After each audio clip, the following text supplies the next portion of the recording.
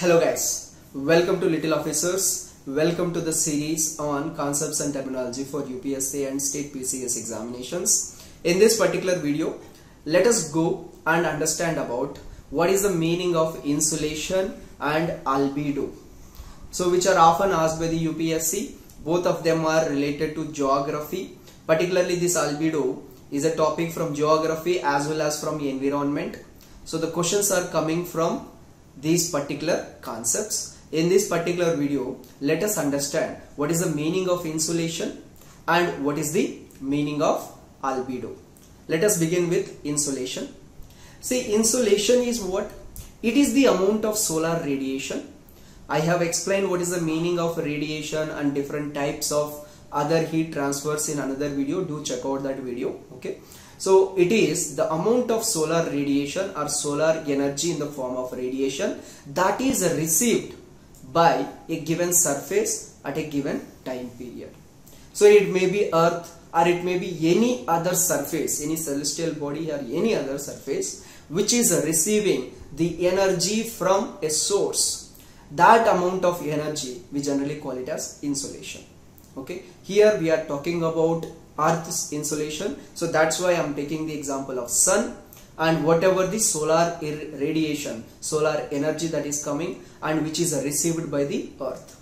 If you see almost in 2 billion parts 1 billion is 100 crore. So if you say 200 crores of energy if that many parts of energy is coming from the sun then how much part how much energy will be trapped by it? Only one part of it will be trapped by the earth. So that is the amount of energy which is received by the earth. And that energy is enough to drive all the life forms on this earth. So just imagine the amount of energy which is coming from the sun. Okay? So insolation it generally varies like the amount of energy received from the sun it generally varies with respect to the latitude मतलब जो horizontal distance है horizontal lines है, उस basis पे भी very होगा। Season पे भी डिपेंड करके वेरी होगा। Then day and night times पे भी डिपेंड करके वेरी होगा। This all happens because of the inclination of the earth okay the earth is not straight it is slightly inclined because of this inclination so there is at some location vertical incidence of the sun rays like there is vertical or 90 degree incidence and at some locations there is sloping of these or slanting of these sun rays. As a result the amount of sun energy received at these locations it does vary. As a result of it insolation of these surfaces also varies.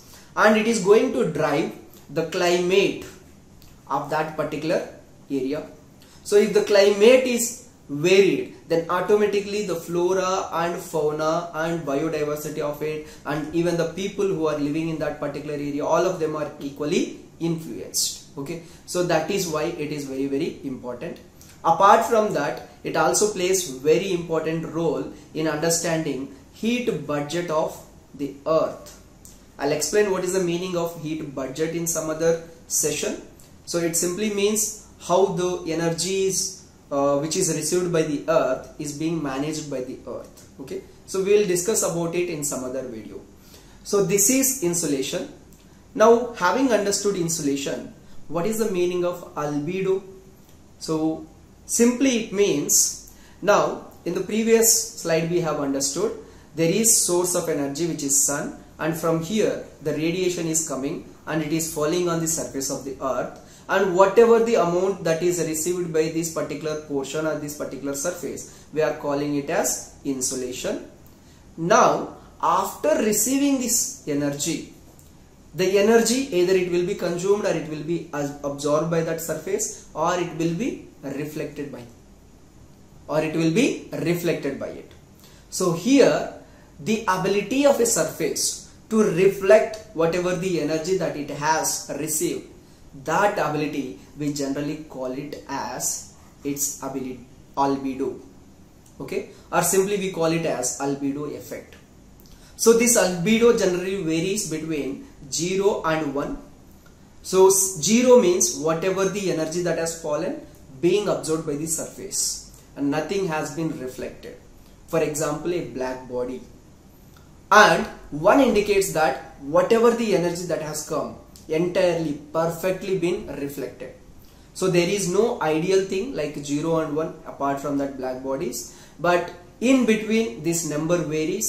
If you are to talk earth as a whole so earth as a object earth has the albedo of 0.3 or close to 31 percent. That means if it is receiving 100% of energy out of which 31% will be reflected by it. So that is the reflective capacity or simply albedo of the earth. Further, this capacity varies depending upon the nature of the surface. If the surface is light colored or smooth, there is a lot of reflectivity. So it has close resemblance with the reflectance as well so for example, I can give snow. If the surface is covered with snow, it will be having lot of reflectivity. As a result, here the albedo of the snow cover is close to 80 to 95 percent. That means 0.8 to 0.95. That will be the number of the albedo. Similarly, if there is some sort of black object, a coal or such sort of surface is there, it is going to be reflecting less so that is how the albedo of this surface depending upon its characteristics it's going to vary and UPSC once asked it has given certain surfaces like grass, grass has been given okay sand has been given and forest has been given forest canopy etc and they have asked to arrange them either in the ascending or descending order of their albedo ये तो general idea से भी बन जाता है if you have options then you can arrange them just looking at their color looking at their uh, no smoothness and all you can simply arrange them okay? If there is snow obviously snow will have more reflectivity. So you can simply arrange them. So this is the kind of question we can expect from this particular section. I hope the concept is clear. And if it is so if the video is useful to you do like share and subscribe. And if you have any doubts do comment. We will get back to you. Thank you very much